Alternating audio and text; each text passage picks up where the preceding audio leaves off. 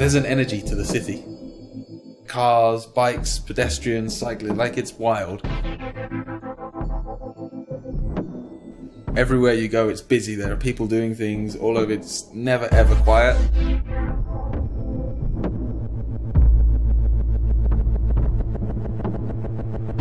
when you get on the bike and ride through the traffic of Sao Paulo, you have to you have to be 100% everywhere.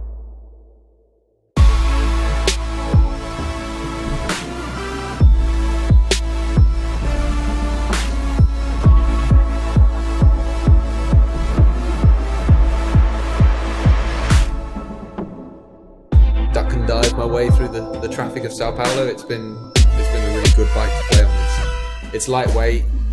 The the chassis feels more like a big bike in that you know it's stable. You can trust it in the turn. You don't sit and wait in line. So you have this kind of freedom to cut through the the mud of life.